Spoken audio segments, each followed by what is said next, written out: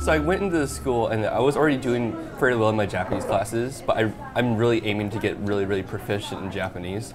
And one of the things that I noticed is every day I would learn something in class and I'm like, oh, that's how you say it. Okay. And I go use it later with my host parents or out when I'm trying to find something in the store. And I had those kind of aha moments every single day.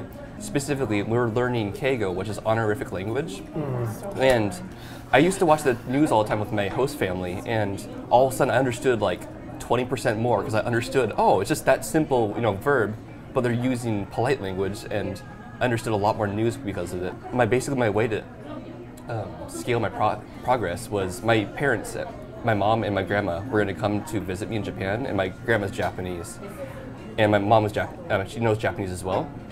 So before I went, my mom's Japanese was better than mine. When she came to Japan and I saw her again, I was better than my mom and she couldn't understand half of what I said anymore. During Japanese classes, you know, strictly Japanese, only Japanese, three and a half hours a day, and that accumulates over five days a week. And then you know, after a certain amount of weeks, you're getting a lot of you're hearing a lot of Japanese. Plus all this stuff that you're just absorbing. Right, and even just outside, you can listen yeah. to train announcements, and I can like repeat those, but now because I've listened too many times, but and then. So do one. he loves to do these around campus, like he'll just randomly okay. say them. 各駅停車が参ります。What was it? I can't remember the second part. It's like 危ないですから黄色線の内側にお立ちください。Please stand behind the yellow line because it's dangerous. Mo- Momentarily, a train's gonna arrive at station number one. You get a lot of writing and reading practice here in the States, but you don't get very much practical talking much. experience. And I remember like the first three weeks, I was just sitting there like, oh my gosh, I can't possibly stay in this class because like everything was so over my head. Hmm. But simply because you're there all the time and everything is described in Japanese, like you don't really get any other help in English. It's just all very direct, which you know, immersion process. Coming back, I felt like I had a solidification of a lot of the stuff I had learned.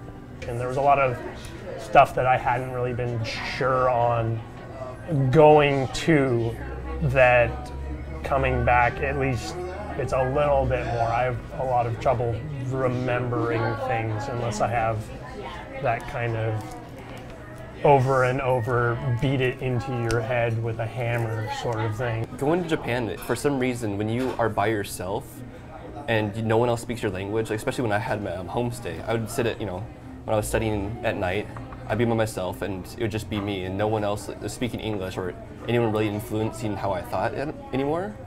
And it somehow, just being in a different country, and being able to operate in a different language really gave me a ton of self esteem and confidence.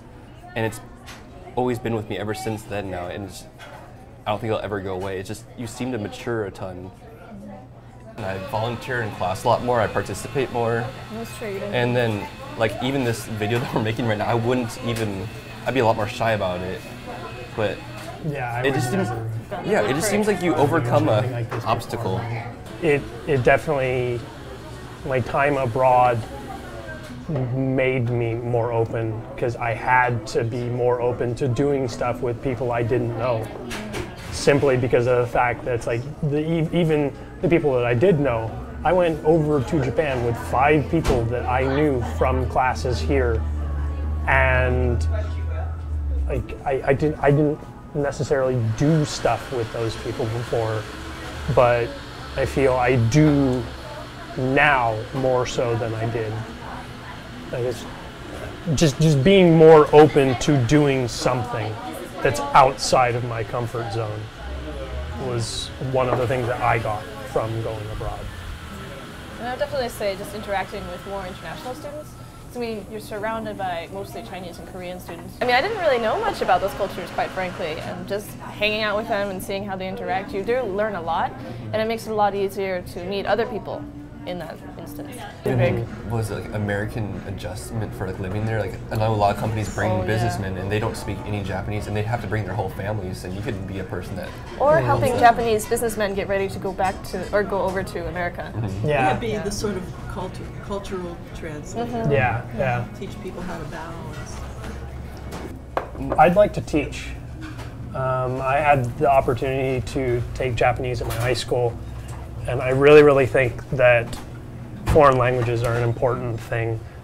I'm probably thinking about being a teacher or something there. I don't want to actually have that as my profession, but just as a footstep to get back to Japan. And eventually, I want to get good enough at Japa- Japanese that I can hopefully try to work for Nintendo, like so Nintendo cool. Japan or Nintendo America, so I can be the international relations type person, translate if we have to go someplace, and that's basically what I'm hoping for. But we'll see. I don't want to be stuck in a teaching job It wouldn't be bad for a couple of years, but be, I would prefer something like business, working with international students. Um, but really, I just I love Japan, so I really just want to get back there and be involved with the people. Is my big drive. せーの。 KCP 本当にありがとうございましありがとうございましたた。